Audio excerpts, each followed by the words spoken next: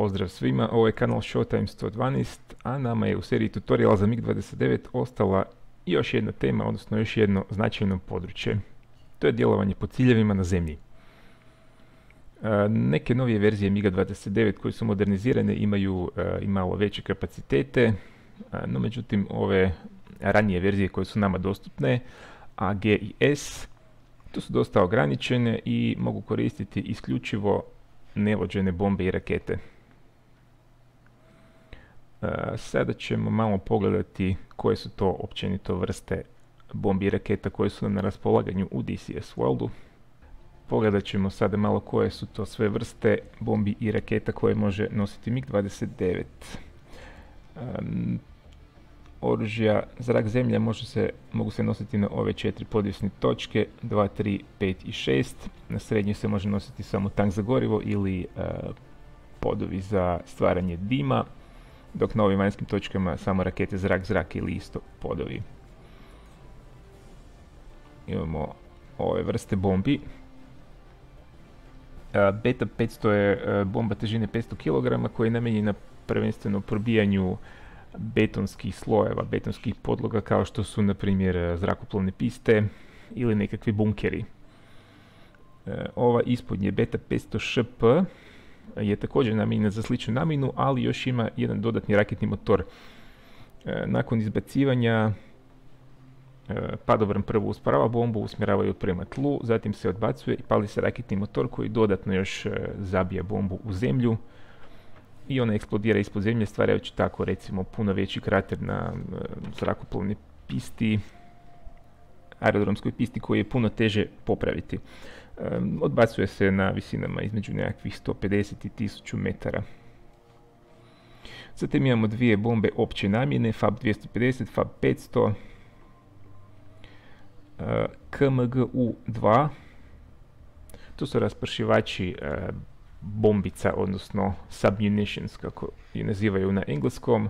E, vrlo su slični kazetnim bombama, samo s tom razlikom što sam spremnik e, municije se ne odbacuje, nego ostaje na zrakoplovu i iz njega se raspršuje u letu. Imamo dvije vrste bojevih glava, ova prva AO2 to je eksplozivno fragmentirajuća bomba, koristi se za napad na nekakve neokupljene ili slabo okupljene ciljeve. Imamo ovaj PTA-B2, e, to je municija sa kumulativnim efektom. Znači namijenjena je uništavanju oklopa, može uništiti recimo nekakve oklopne transportere, pa čak i starije tenkove. Novije tenkovi poput Abramsa ne. Onda imamo četiri vrste kazetnih bombi, ove RBK, RBK 250 sa ovom prvom bojevom glavom, to je uh, također kumulativna bojeva glava za uništavanje oklopa. Pa onda imamo ovu 250-275 AO15, uh, to je uh, fragmentirajuća bojeva glava za neoklopljene ciljeve. I imamo dvije varijante težine 500 kg, jedna i drugo sa kumulativnim bojavim glavama, samo ova, je, ova prva je manja, ova druga je veća. Imamo zatim nevođene rakete, imamo raketu S8 kalibra 80 mm u tri različite izvedbe. Ova prva kom ima kumulativnu bojevu glavu, znači protuoklopnu, ova druga ima rasprskavajuće eksplozivnu, znači namijenjena je za uništavanje neoklopnih ciljeva. I ova treća e, je dimna raketa, koristi se za obilježavanje ciljeva. Konačno tu je raketa S-24B, to je uh, nevođena raketa velikog kalibra, 240 mm, i može se koristiti za uništavanje nekakvih e, fortifikacija ili, ili okupa. Za ciljanje nevođenim bombama na MiG-29 imamo na raspolaganju dva načina otpuštanja, odnosno ciljanja. E, ako ste već letili na Suhoj 25T, onda vam je to vjerojatno poznato, ali ako nije, ponovit ćemo ih. E, prvi način je onaj način u kojem su parametri leta takvi da mi točku udara vidimo ispred sebe. To jest vidljiva je e, unutar head-up displeja. U tom slučaju sustav će izračunati točku u kojoj će bomba udariti ako ju otpustimo u ovom trenutku i tada će doći do jedne male promjene na ekranu iznad ovog kružića pojavit će se još jedna vertikalna linija. Sve što mi trebamo tada je izmanevrirati zrakoplov tako da kružić dođe do e, željenog cilja i zatim stisnemo tipku za okidanje bombi i otpustimo bombu. Druga metoda je e, metoda neprekidnog izračunavanja točke otpuštanja bombe. Ako ovisno o parametrima leta i o vrsti oružja, e, ako je točka udara negdje ispod head display, znači ne vidimo ju, tada ćemo uh, gađati tako što ćemo ovu točkicu također dovesti do cilja koji želimo pogoditi.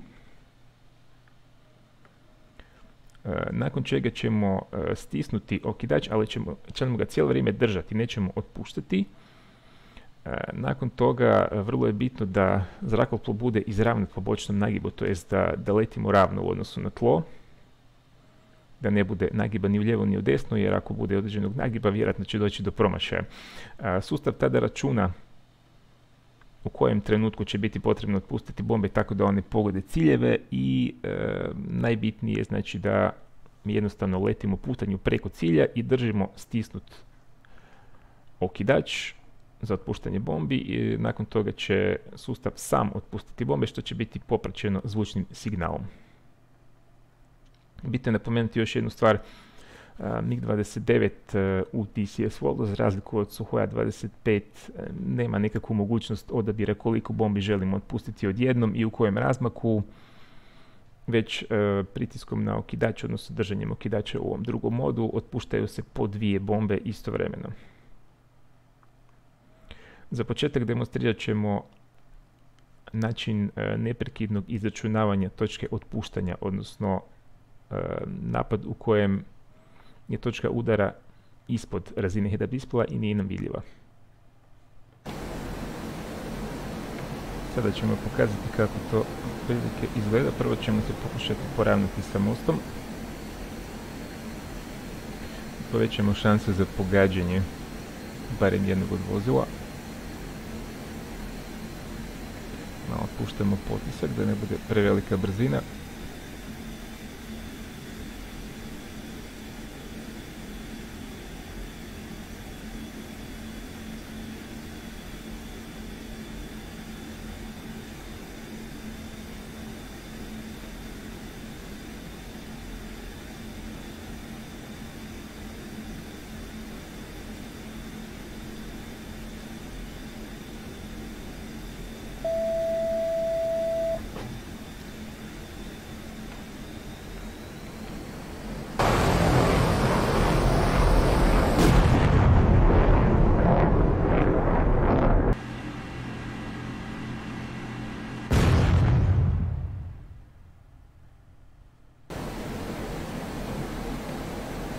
Izgleda da smo uništili jedno od oklopnih vozila, e, iako nije bio izravan pogodak, no međutim bomba je pala dovoljno blizu, bombe su pale dovoljno blizu da ga oštete.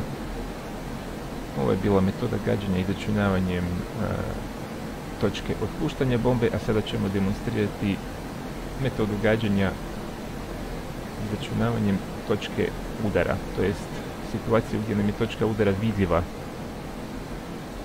na head displayu. Sada ćemo demonstrirati e, napad na kopnene ciljeve u modu u kojem je točka udara vidljiva na head displayu. Da bismo to postigli, e, potrebno je zadovoljiti neke parametre, znači zrakoplov mora letjeti prilično nisko i prilično brzo. Alternativno to je moguće postići i obrušavanjem na cilj pod e, prilično visokim kutem. No, međutim, mi ćemo se odlučiti za jedan niski i brzi prolaz iznad cilja, pritom ćemo koristiti raspršivače uh, KMG U2 sa kumulativnim bojim glavama.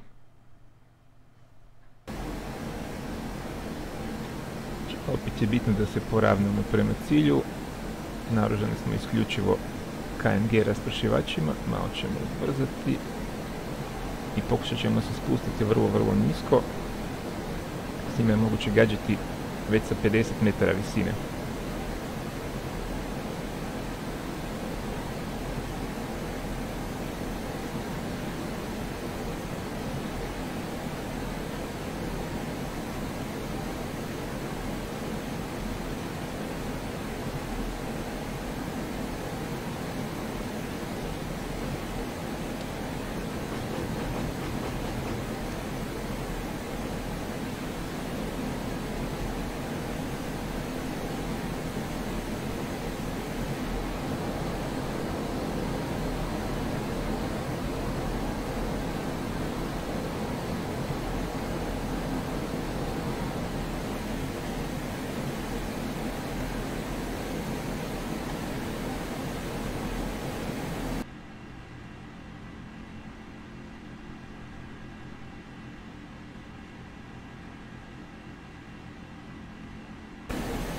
Evo, izgleda da smo uspjeli postići povodke na čak tri oklopna vozila u jednom prolazu.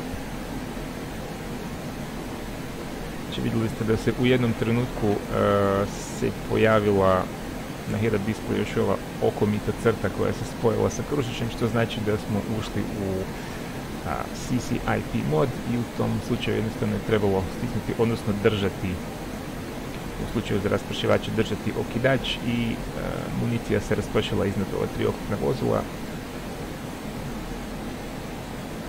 i uspjeli smo uništiti tri komada. I za kraj ćemo demonstrirati još gađanje e, nevađenim raketama kalibra 80 mm s kumulativno bojevom glavom. E, one su dovoljno jake da e, mogu uništiti oklopna vozila poput ovih LAV-25 koji se nalaze na mostu. Čisto pokušat ćemo se poravnati na cilj i zatim samo dovesti ovaj kružić na njih i u tom trenutku držati tipu za opaljenje i dok držimo rakete se ispaljuju. Imamo minimalni maksimalni domet, uskoro ćemo ući u domet.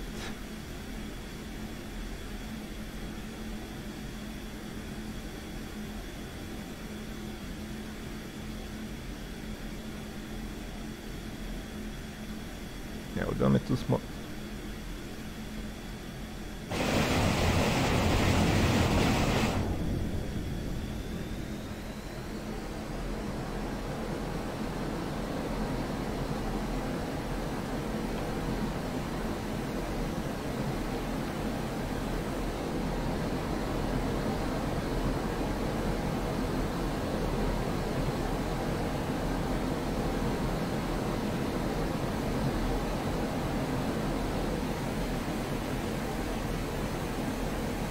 Evo vidimo tri dima, izgleda da smo opet uspjeli uništiti tri vozila od ukupno četiri.